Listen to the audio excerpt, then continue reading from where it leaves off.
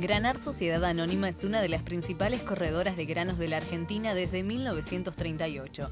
Su base de operaciones se encuentra en Capital Federal, pero también posee 14 oficinas comerciales en Córdoba, Santa Fe, Entre Ríos, La Pampa y Buenos Aires. En la actualidad negocia un promedio anual mayor a los 2 millones de toneladas. Su cartera de clientes se encuentra conformada por los principales acopios, cooperativas y productores, fondos de inversión e importantes firmas industriales y exportadoras.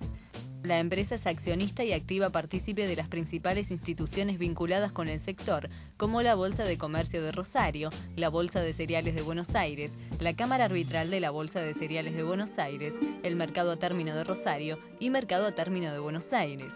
Es pionera en establecer la primera red de radioenlaces, lo que le permitió difundir información hacia aquellos lugares donde la telefonía pública llegaba mal o directamente no existía. Esa innovación le permitió contactarse con todos los integrantes de la cadena comercial del país. Además, se convirtió en la primera casa corredora con su administración informatizada. Granar participó en la emisión de dos fideicomisos financieros como estructurador comercial y técnico.